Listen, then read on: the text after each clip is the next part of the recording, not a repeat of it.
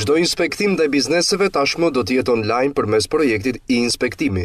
Ministria e Mirëqenies Sociale dhe Rinisë në bashkëpunim me Inspektoriatin e Punës prezantuan metodologjinë e re të inspektimit të subjekteve përmes dixhitalizimit. Ministri Klosi tha se të dhënat do të kalojnë në Inspektoriatin Qendror dhe ka për synim të ofrojë më shumë transparencë.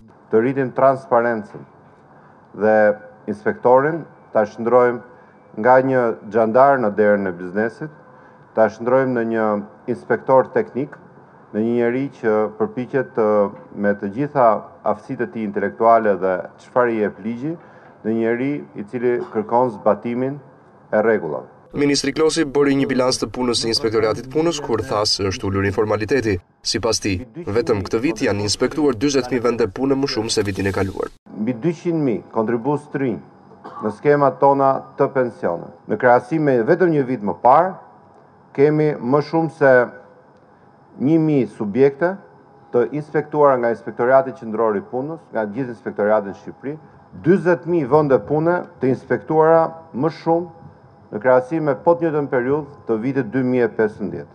njëqind subjekte, të evidentuara nga Inspektoriati gjatë këtij viti si të palicensuara dhe drejtuar pranë organeve përkatëse për të marrë licencimin. Inspektorët do të pajisen me karta të personalizuara të cilat janë të regjistruara në sistem.